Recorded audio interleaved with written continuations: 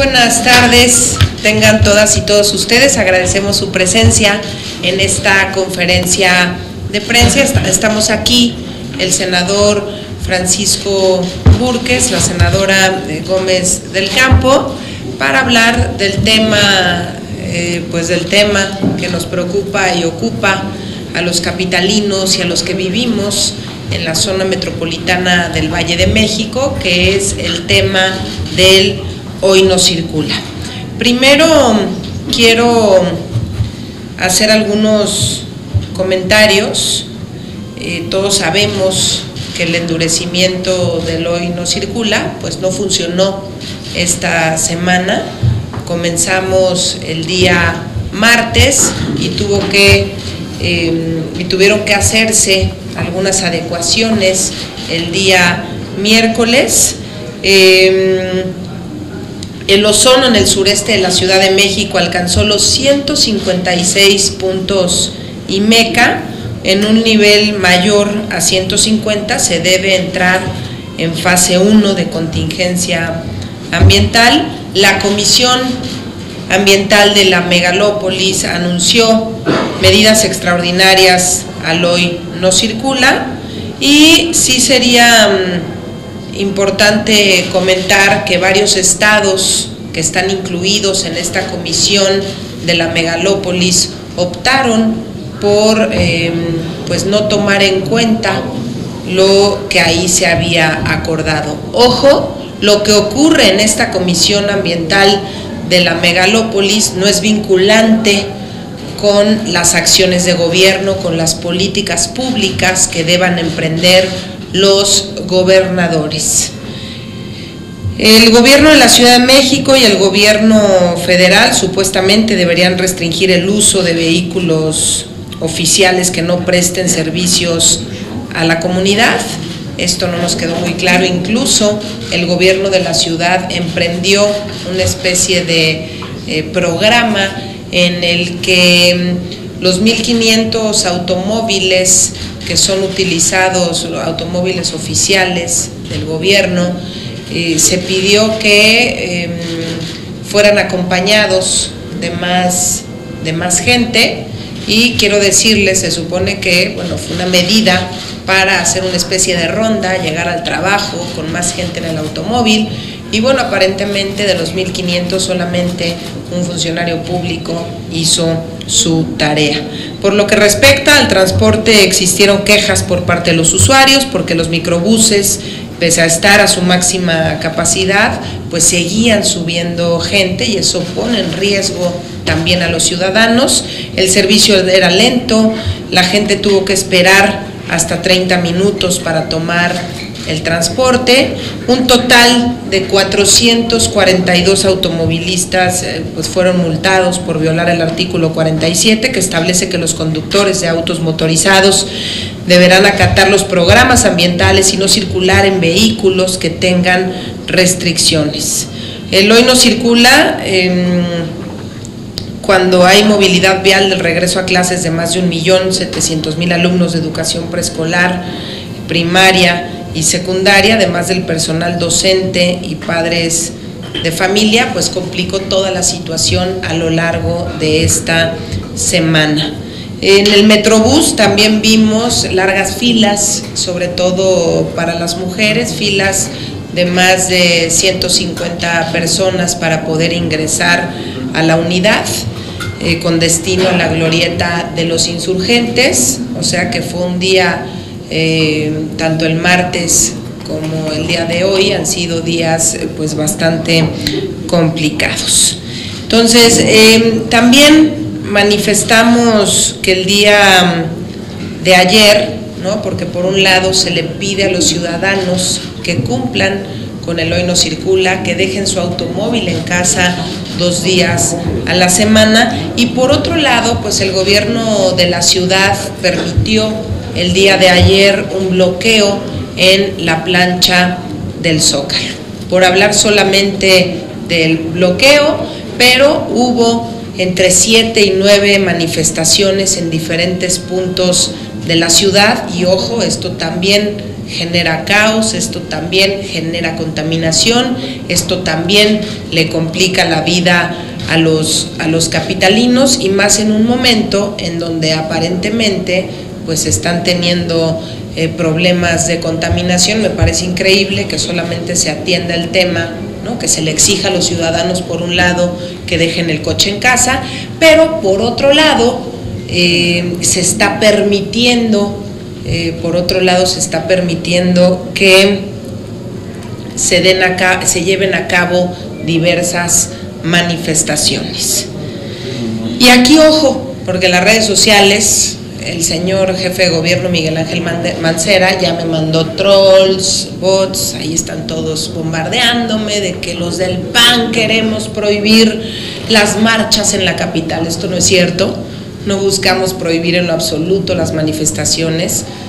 Si, los panistas también nos hemos manifestado por diversos temas, estamos a favor de las manifestaciones, de las manifestaciones ordenadas, de hecho hemos tratado de impulsar legislación al respecto, pero estamos a favor de la libertad de expresión, de la libertad de tránsito, y si estamos en contingencia, pues ojo, jefe de gobierno, hay que poner orden en la ciudad. No estamos pidiendo que prohíba nada, pero poner orden. Y orden significa no permitir un solo bloqueo. Si tenemos problemas ambientales, ¿por qué el jefe de gobierno permite que se bloquee eh, el zócalo? Generar un caos y obviamente esto genera contaminación. Si estamos eh, pues todos echándole ganas, porque al final del día todos le estamos echando ganas de alguna manera, nos venimos en bicicleta al trabajo o en motocicleta o pedimos aventón, así la estamos pasando nosotros estos días. Entonces, lo mínimo que exigimos es que el gobierno también haga su parte. Mm, es importante, hay un dato muy interesante que les quiero compartir porque pareciera que el gobierno de la ciudad es incongruente con muchas de las medidas que ha tomado. Porque hoy tenemos, en el año 2004, la Ciudad de México obtuvo el récord Guinness como la ciudad más contaminada del planeta. Entonces, pues han pasado ya eh, más de una década y desafortunadamente las condiciones hoy son aún peores. Es increíble que no se hayan emprendido políticas públicas desde aquel entonces, cuando ocupaba el número uno, récord Guinness, como la ciudad más contaminada del planeta, es increíble que nos hayan tomado las medidas pertinentes.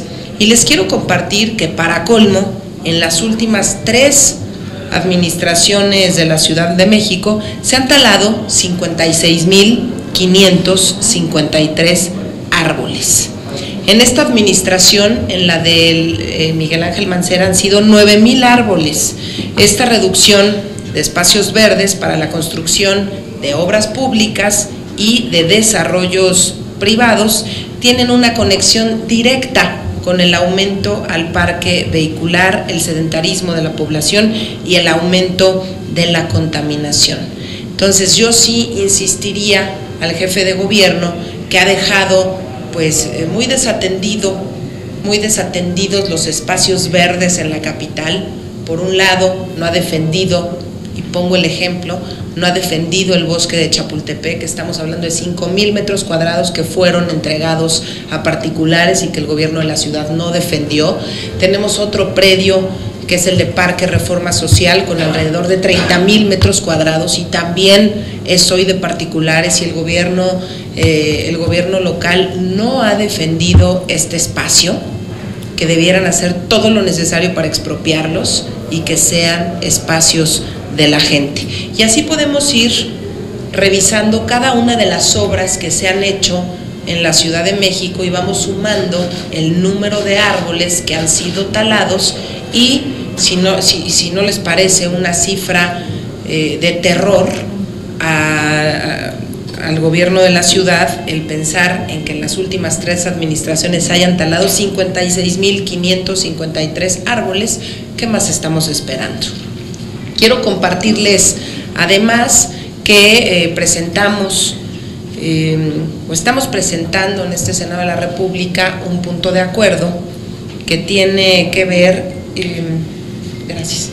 Estamos presentando un punto de acuerdo que tiene que ver primero, estamos haciendo un exhorto al jefe de gobierno para que revierta la determinación restrictiva adicional al programa Hoy no circula, toda vez que ha resultado ineficaz para bajar los índices de contaminación en la Ciudad de México.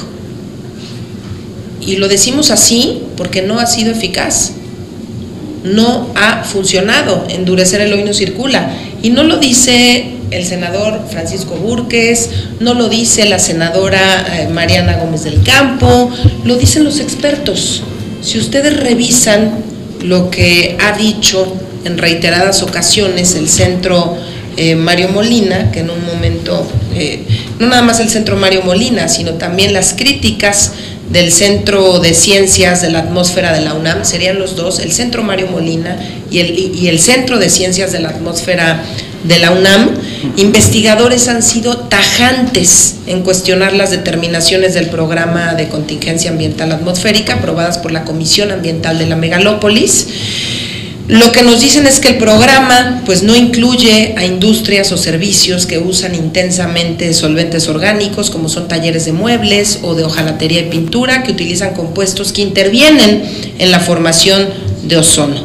Mencionan que la aplicación prolongada del hoy no circula lo único que hace es incentivar, es fomentar el uso del automóvil y sobre todo la adquisición de vehículos adicionales y no promueve la renovación de la flota vehicular como ocurrió en los años 90.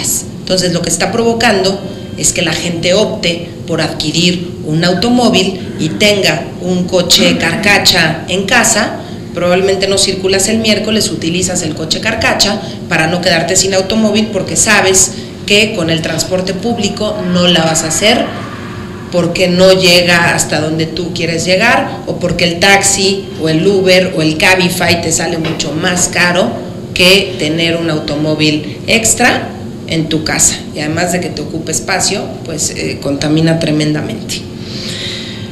Mm, también, bueno, y, con esto yo solamente diría, a mí me inquieta mucho que el jefe de gobierno no tome en cuenta a los expertos porque lo que venimos a decirles aquí, tanto el, senador Francisco Burques como yo, eh, pues no son ideas que se nos ocurrieron hoy en la mañana cuando despertamos, ¿verdad? Son temas que eh, si uno revisa y analiza lo que dicen los expertos, pues no busquemos el hilo negro, simplemente aprendamos a escuchar, a analizar y sobre todo hacerle segunda a lo que piensan los expertos que han venido estudiando estos temas en las últimas décadas. Por último, les comparto rápidamente los resolutivos para que le ceda el uso de la voz al senador Burques. También el segundo resolutivo sería el Senado de la República exhorta al jefe de gobierno de la Ciudad de México para que utilice los recursos del Fondo de Capitalidad para la modernización, reconstrucción, ampliación, remodelación, mantenimiento, conservación y o equipamiento del transporte público como medida primaria para hacer frente a los efectos de la contaminación ambiental. Tercero, el Senado de la República exhorta al jefe de gobierno de la Ciudad de México para que estudie la viabilidad de ampliar el programa de sustitución de convertidores catalíticos a vehículos automotores de 10 años de antigüedad con la finalidad de mitigar la mala calidad del aire.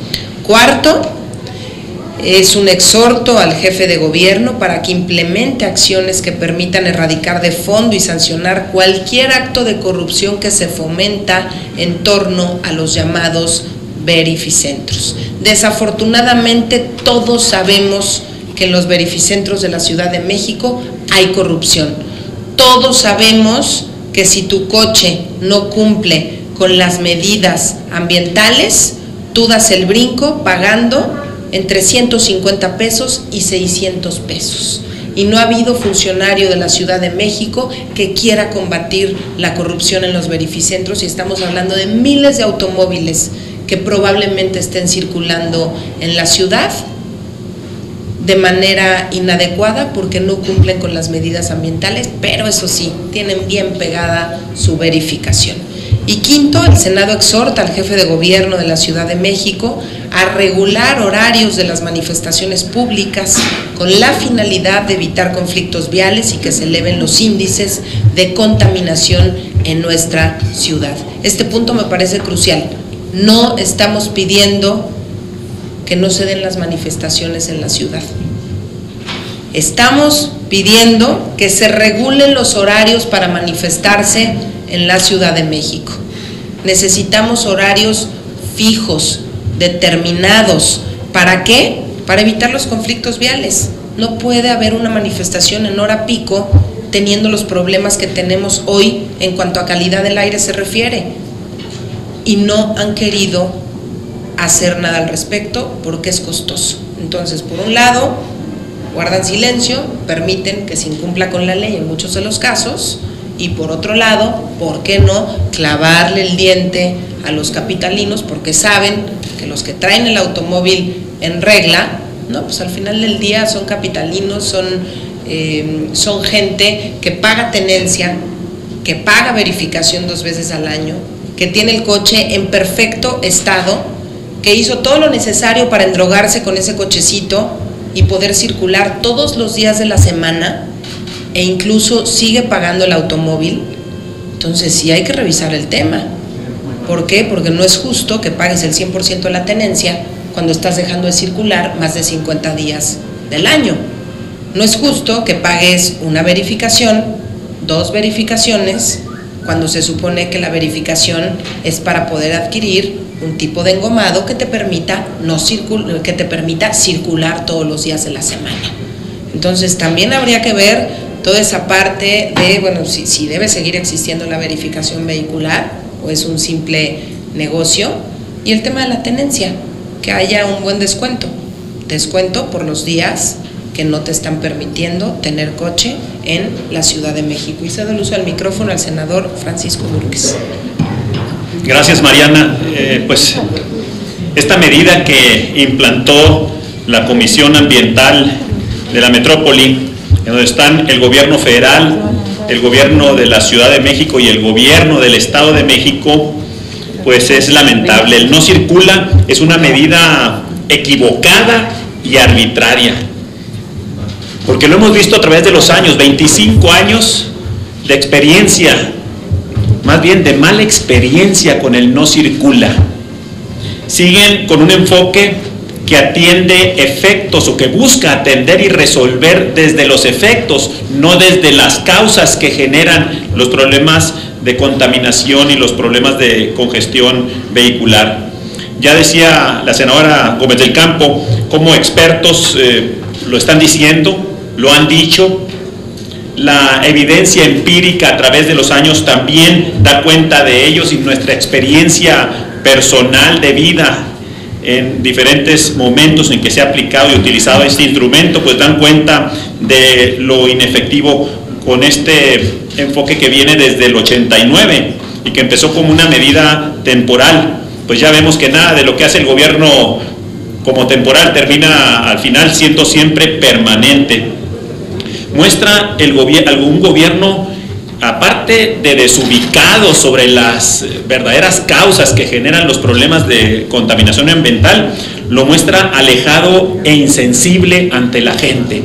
Por décadas se ha privilegiado y se ha invertido un 70% del presupuesto público urbano en infraestructura para vehículos. Se ha maltratado la opción alternativa del transporte colectivo, pésima opción.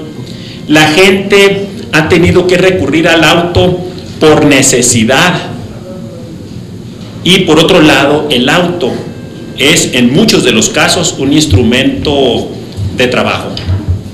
La contaminación y la congestión se deriva de las regulaciones, del modelo urbano equivocado que por décadas ha sido el que ha regido la construcción de nuestras ciudades y lo digo yo como presidente de la Comisión de Desarrollo Urbano en el Senado. Las ciudades y los barrios son un ecosistema que ha sido alterado por estas eh, regulaciones de zonificación y de uso de suelo inflexibles, que han destruido la oferta de opciones comerciales y de trabajo en los barrios y los ha obligado a desplazarse a otras áreas especializadas que el gobierno ha dicho que son para uso comercial o para uso industrial o para uso de equipamientos. Entonces, la ciudad, en los barrios, la gente y las familias se tienen que desplazar para satisfacer sus necesidades diarias o semanales o periódicas a otros lugares, activando eh, movimientos eh, y desplazamientos eh, en vehículos o incluso en transporte colectivo. Soluciones que antes se resolvían en el propio barrio. La regulación de uso del suelo ha encarecido la vivienda en las partes céntricas de la ciudad.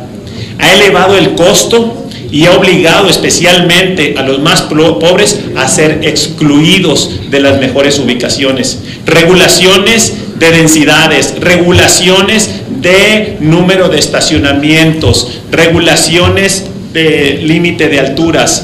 Todo esto ha hecho que los más pobres sean los que con más frecuencia se tienen que ir a vivir a las periferias. Y pues es ya casi la regla de que, solo, que las familias jóvenes y de menos recursos tienen que vivir a dos, dos horas y medio y hasta tres horas de distancia de su centro de trabajo. ¿Qué no ven las autoridades que la ciudad y la vida en la ciudad es un ecosistema? Pues de esa misma manera podemos decir que todas estas medidas han sido un gran instrumento de control y de corrupción. Para nadie es un secreto que el uso del suelo, especialmente en, el Valle de México, es, es una gran fuente de ingresos para los políticos. Soluciones. Pues hay soluciones en lo inmediato, como obligar a Pemex, y lo tiene por mandato desde el 2009 que no, que no ha cumplido, de producir gasolinas con menos contaminantes, sin azufre ya todas las grandes ciudades del mundo tienen gasolinas que no contaminan, pero en México, como Pemex es del gobierno, a él sí se le permite que siga contaminando. Pues mejorar el transporte público es la solución alternativa. ¿Por qué funciona tan mal el transporte público? Pues porque está en manos del gobierno, que lo regula y que lo maneja a través de concesiones y que lo administra con fines políticos y de otorgar beneficios a aliados para su operación de gobierno. En, en otras partes del mundo el transporte público es para todos, especialmente es un transporte público tan bueno que es para los que tienen auto. Entonces los que tienen auto ya no lo ven como algo indispensable como en México, que no tienes alternativa, sino que se vuelve opcional y la gente prefiere viajar en transporte colectivo. Y así el alcalde de las grandes ciudades o gente de, mejores ingresos que podrían usar auto, usan el transporte colectivo en Nueva York, en Londres, en cualquier gran metrópoli como la Ciudad de México, menos aquí. Otras soluciones son incrementar las ofertas de estos diversos tipos de transporte y vimos cómo al abrirse la opción de taxis con tecnologías informáticas se desvistió la pobreza de un sistema de taxi de transporte eh, de taxis en manos del gobierno. Lo mismo tenemos que ver en el futuro con sistemas de transporte colectivo mucho más flexibles, mucho más adaptables a las necesidades de las personas.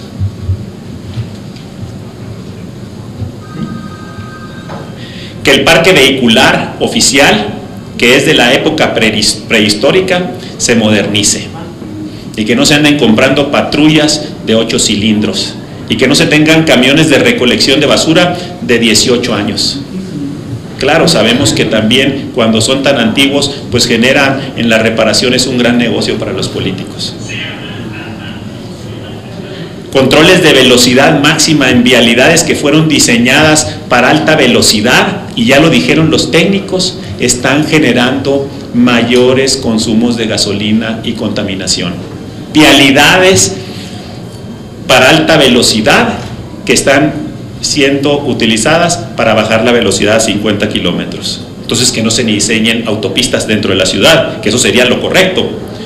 Dejar de invertir en movilidad exclusiva para automóviles, como los segundos pisos y las vialidades de alta velocidad, que han probado una y otra vez que no resuelven el problema del tráfico. Banquetas amplias, un diseño urbano con banquetas amplias que permitan que las vialidades tengan en las aceras una arborización, que reforestemos la ciudad. Y una reforma urbana que por 40 años se le ha negado a la ciudad y a México. Una reforma urbana que privilegie la vida de barrio, la movilidad cercana en todas sus formas, sin discriminar a ninguna, empezando por la movilidad peatonal y que hoy está proscrita en las regulaciones urbanas. Una reforma urbana que permita resolver el problema del transporte con un enfoque de que el mejor transporte es el que no se necesita. Una reforma urbana que dé flexibilidad y libere diversas opciones de vida dentro de la ciudad y no expulsemos a los ciudadanos a las periferias. Pues con esto lo que les podemos decir es que en sus dos primeros días de aplicación de este no circula, que fue agudizado al segundo día, pues eh, notamos en las estadísticas y en las gráficas que no hay una relación directa entre número de automóviles e IMECAS. Qué raro y qué curioso, ¿verdad? Pero tampoco los ha habido en 25 años. ¿Qué pretenden las autoridades que tomaron esta decisión? No sé. También veo que la vara con la que se juzga en el 90, una mala calidad del aire era de 200 partes, hoy es de 101 partes. En el 90, la muy mala calidad del aire era de 300 partes, hoy es de 151 partes. Entonces, nomás para que tengamos otra, otra información. Yo invitaría a que la gente vea desde su perspectiva que hay leyes injustas, que hay disposiciones de gobierno injustas y que vea la forma a través de la resistencia civil pacífica de oponerse a algo. Porque el hecho de que el gobierno tenga un mandato no le da la autoridad para abusar de los ciudadanos. Y eso es lo que está pasando en la Ciudad de México. Yo quiero compartirles un dato que tiene que ver con el metro de la Ciudad de México y el metro que tiene eh, otros, otras ciudades, como es el metro de Madrid, el número de kilómetros eh, que tiene y el número de habitantes por ciudad. Por ejemplo, en el caso de Madrid, el metro de Madrid tiene 297 kilómetros de líneas y 7 millones de habitantes. El de Londres tiene 408 kilómetros y 9 millones de habitantes. Si pensamos en la Ciudad de México y la zona metropolitana, tenemos 226 kilómetros y 22 millones de habitantes. Con esto está comprobado que la prioridad en las últimas décadas no ha sido el transporte público, no ha sido finalizar con el plan maestro del metro. Aquí lo que se ha hecho, a diferencia del metro en Madrid, el metro en Londres, es invertirle a las grandes avenidas, invertirle a los segundos pisos, invertirle a, eh, a los deprimidos en diferentes puntos de la ciudad, que además te generan, está el caso en estos momentos del deprimido Miscuac, en donde se han tirado más de mil árboles. Entonces, son temas que nos tienen que poner a reflexionar. No estamos cuestionando el hoy no circula por simplemente cuestionarlo y llevarle la contra al gobierno en turno.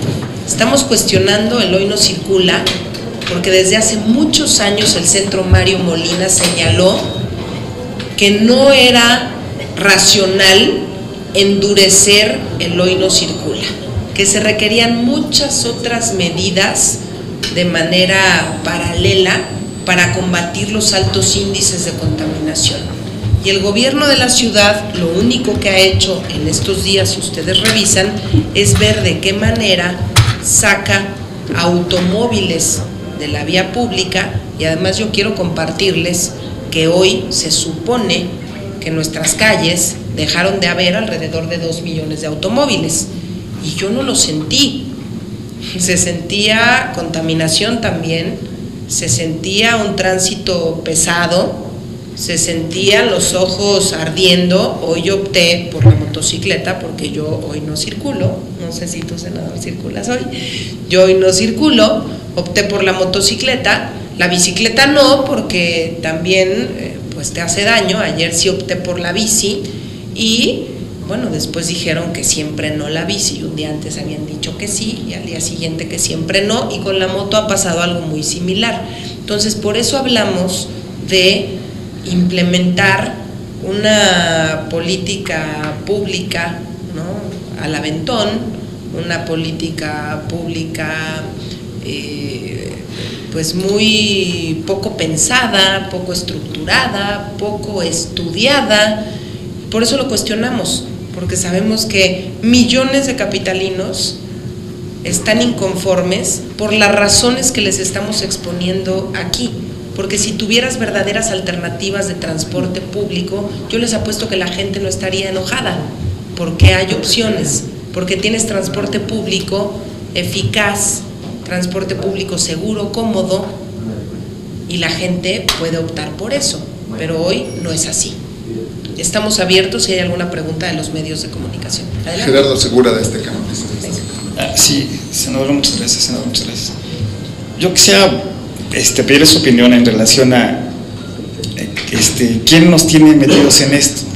Y si no, Mancera y su equipo de funcionarios ineficaces tendrían que primero darnos una explicación de por qué han permitido las corruptelas en los beneficentros, por qué han permitido las corruptelas al, meter, al permitir transporte público contaminante e inseguro.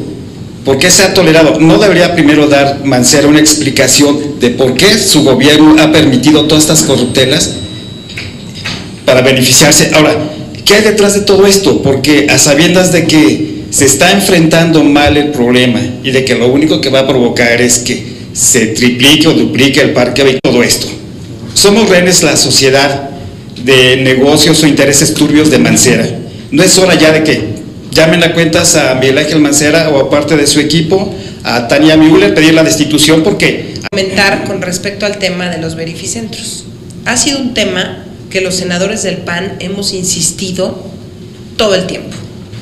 Yo les recuerdo que hace mm, ya en el 2013, 2000, ah, en, el, en el 2015, presentamos un punto de acuerdo en la comisión permanente que fue aprobado que dice lo siguiente, primer resolutivo, la comisión permanente del Honorable Congreso de la Unión exhorta respetuosamente al gobierno del Distrito Federal para que implemente programas de combate a la corrupción en los centros de verificación.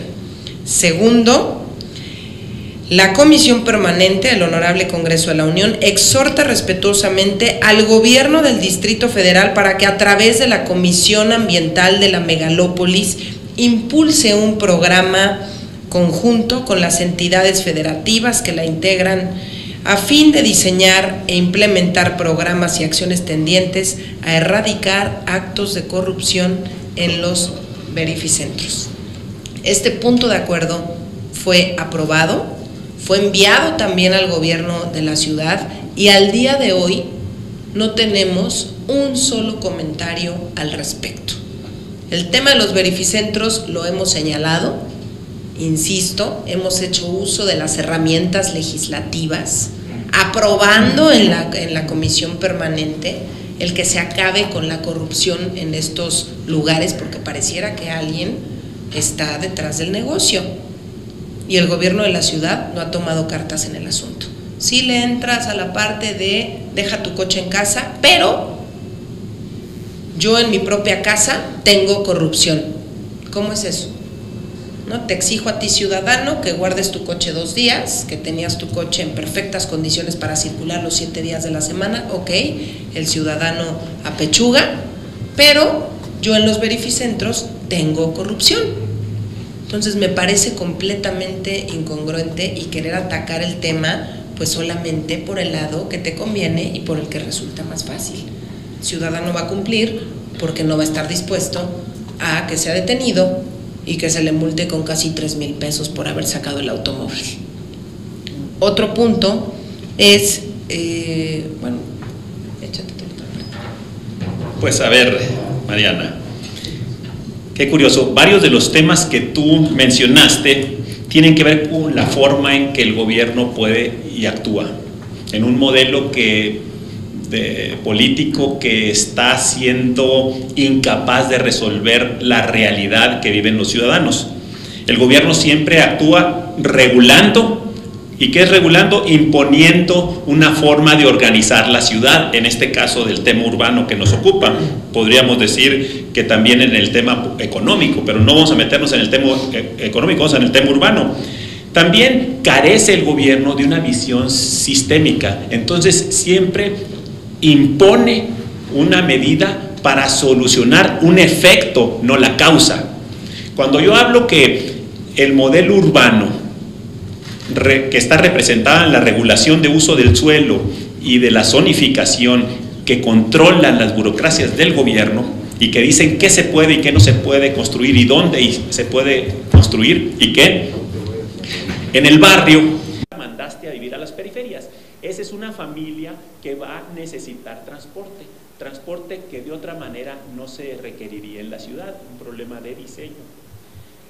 Cuando tú a los equipamientos un cine para el barrio, que sería de una sola sala, o una tienda de abarrotes comercial para las cosas diarias, ya no digamos el changarrito de la esquina, algo más moderno y evolucionado, que fuera de 300 metros en la colonia, la obligas a que tenga que ubicarse en un terreno más grande y a recibir y a tener que tener cajones de estacionamiento, cuando su clientela para su formato es peatonal, porque su clientela es la del barrio. Entonces, a, todas esas ofertas de, las pymes que podrían estar ubicadas en los barrios y que podrían atender a la comunidad vecina de, de, de una manera peatonal, pues las obligas a competir con los Walmart. ¿Por qué están desapareciendo todos estos formatos pyme de barrio? Porque la regulación privilegia y le da ventajas a los grandes centros comerciales, a las grandes cadenas de cines y a cualquier formato que va a requerir que su clientela active un, un, traslado y un transporte motorizado, ya sea en auto, en taxi o en camión. Todo eso está complicando la vida de la ciudad. Se lo hemos dicho mil veces a las autoridades y van 40 años sin querer modificar una ley de asentamientos urbanos que está generando todos estos problemas. Y tenemos 25 años insistiendo en el no circula. ¿Por qué?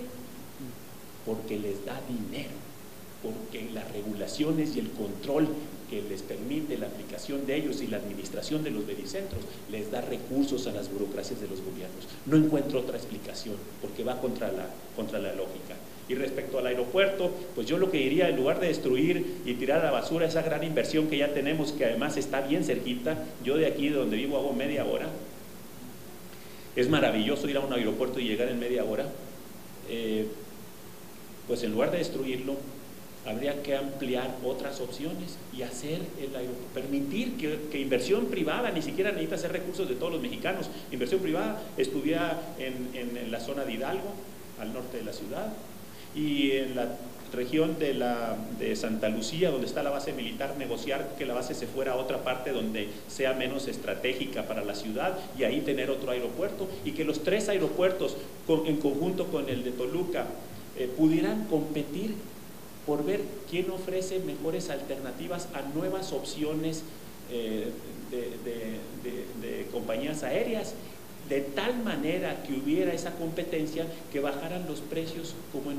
como en Europa. Revisen ustedes cuánto cuesta viajar en Europa en avión y se van a sorprender.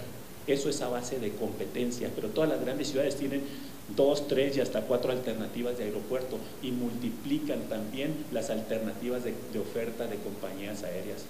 Y vean, y es increíble, mucho más barato que el transporte eh, regional en, camión que tenemos hoy aquí en México y en avión. Bueno, pues por lo mismo la gasolina cuesta el doble que cruzando la frontera. Gracias, buenas tardes. Senadora, usted debe de conocer, como interesada tanto en, los, la problemática citadina, que en los noventas había un plan maestro para seguir la construcción del metro y, y, duplicarla. Construir más de 200 kilómetros. No se ha hecho, por un lado. Por el otro se le ha dado prioridad a, a, los segundos pisos y a los automóviles. Y otra, ¿nos podría usted hacer el favor de decirnos, con esa densidad de más de 500 este, millones de, o cuántos fueron los árboles talados, 500 mil y cacho. No, ahorita le doy las cifras. Ese, ¿Qué podríamos reforestar? O sea, ¿cuántos chapultepecs podríamos, podríamos hacer para tener esos cinturones verdes, esos pulmones que, que tanto nos hacen? Nos hacen falta. Con mucho gusto. Gracias. Sí, claro que sí, Berta, muchas gracias. Son, eh, han sido talados 56.553 árboles. Entonces habría que revisar cuántos árboles hay en el bosque, en el bosque de Chapultepec y ¿no? todo lo que tendríamos que ponernos a eh, plantar para los próximos años. Entonces, de manera muy, de manera muy, la verdad es que, por ejemplo, ahorita venimos de la colonia Alfonso XIII, tuve una reunión vecinal y me decía una señora desesperada, es que van a hacer una construcción aquí, van a hacer unos departamentos y el dueño nos taló todos los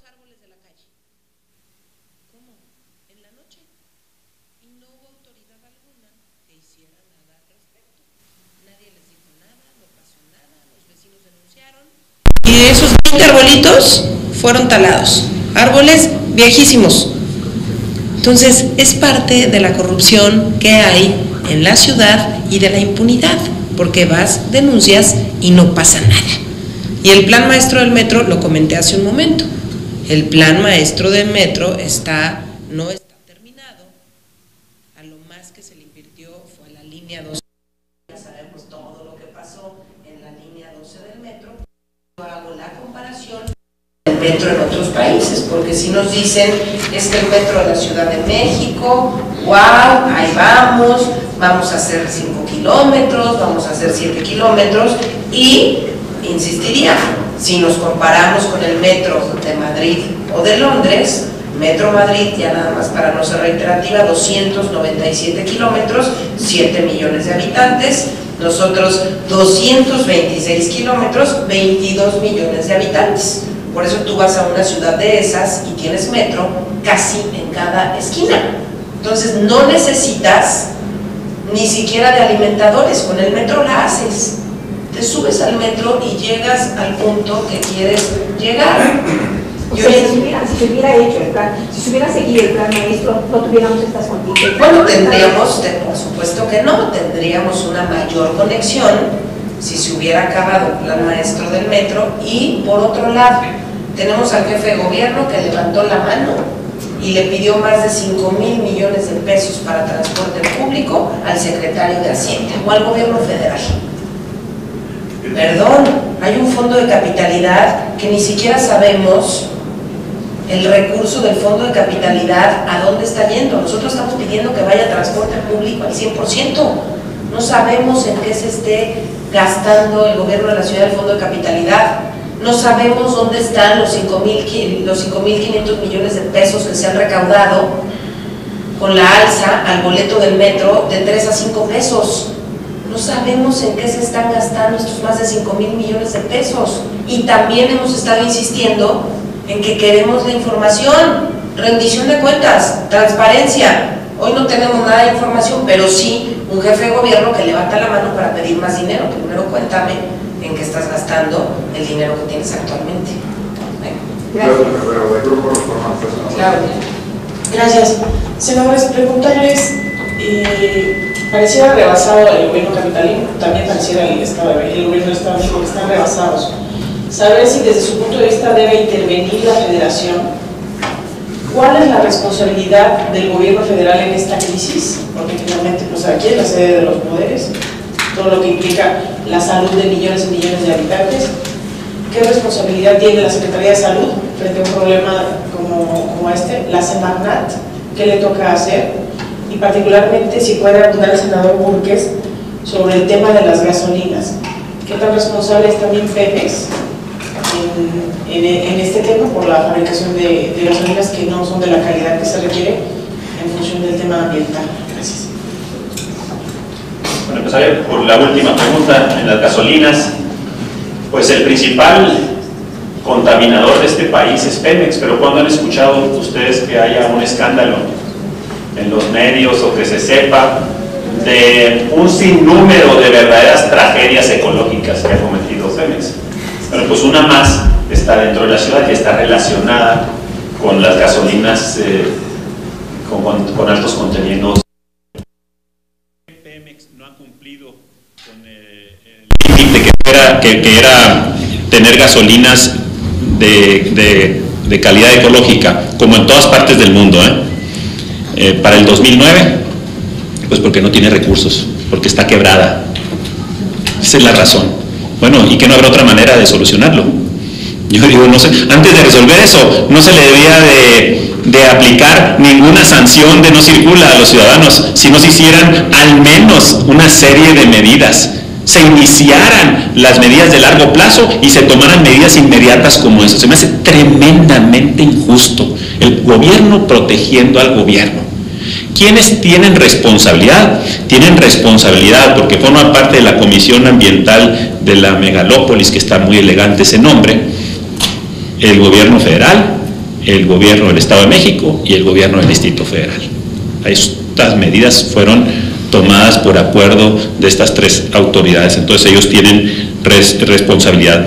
Y voy a tocar algunos temas de la forestación, de, de, mejorar la calidad del aire a través de hacer una, una representación dentro de la ciudad de, de, de, todo lo que es la vegetación y la arborización, pues simplemente si se tomara el cuidado, el gobierno, de tener un modelo urbano que privilegiara esto, pues las banquetas fueran de 3 metros, al menos, dependiendo de la zona, en los arriates hubiera suficiente espacio para arborizar y pues no sé si, si, si pudiera, todos hemos tenido oportunidad de ver en el mundo ciudades arborizadas y son preciosas, es una maravilla, ciudades jardín. Y los jardines son posibles enfrente de todas las casas, en, en, enseguida de todas las banquetas. ¿Por qué aquí no lo hacen? Pues no, porque yo creo que siempre solo ven el no circula. Y respecto al transporte, eh, a lo que es el metro, el metro es un, lujo. Eh, hay medidas mucho más económicas que son los metros superficiales, que son los metrobús. Esos son los... Pero además, yo les puedo decir que las finanzas públicas de la metrópoli están colapsadas. Igual que los municipios y que todos los estados del país y que la federación. Si les quitamos los ingresos por pasivos, por nuevas deudas, todo el presupuesto está gastado en gasto corriente. Pero además, vamos pensando que la solución al transporte no necesita de dinero público, simplemente necesita de un sistema de transporte más flexible, que permita una mejor utilización de las vialidades y de las interconexiones, aunque sean eh, escasas en la ciudad, es una ciudad sin, sin interconexiones, se le dejó muy pocas vialidades interconectadas para atravesar la ciudad, pero aún en ellas, y podría poner el ejemplo de Santa Fe hasta Reforma, pues debería de existir, como en muchas otras partes de la ciudad, el servicio de Metrobús con un, con un, con un eh, carril dedicado. Y no se requieren grandes inversiones, puede ser implementado en muy corto plazo y si es bueno, sería increíble la cantidad de automóviles que por voluntad propia, no obligados por el gobierno, dejarían de circular. Usted ve el metrobús por todos lados, ¿cuántos viajes hace diario? Son las auténticas son las chimeneas, son altamente contaminantes, no funciona eso.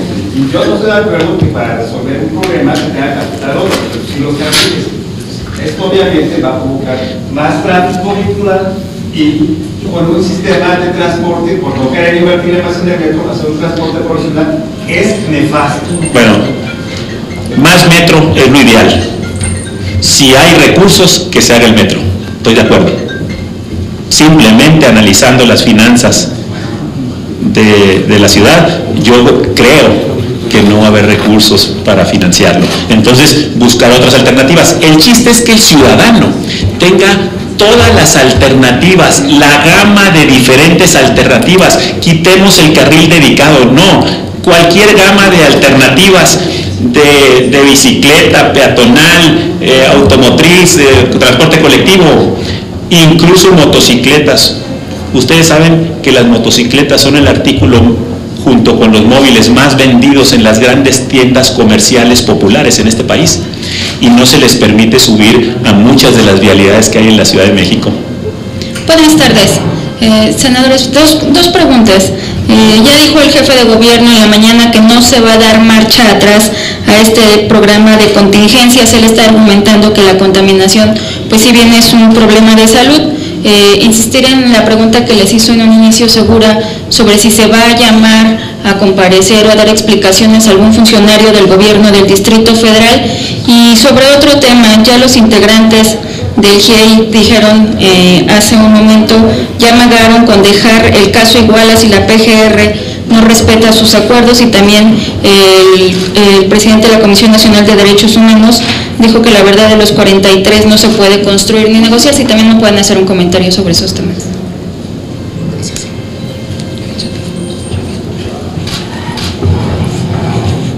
Bueno, sobre el caso Iguala, es eh, algo que ofende a, la población en México y que está íntimamente ligado con la credibilidad sobre el sistema político, sobre la democracia y sobre los gobiernos en México.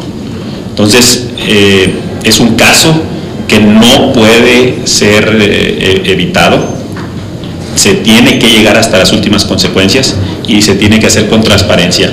Hemos visto cómo se ha impedido que venga el relator hemos visto que se ha evitado que este tema vuelva a salir, pero está en la memoria de la gente y hasta que no quede resuelto va a pesar esa losa sobre las espaldas de los gobernantes. Entonces eh, yo creo que no habrá manera de, de, esperar que el tiempo haga que se olvide. El primer punto, ¿cuál era el que, el que me mencionaste primero?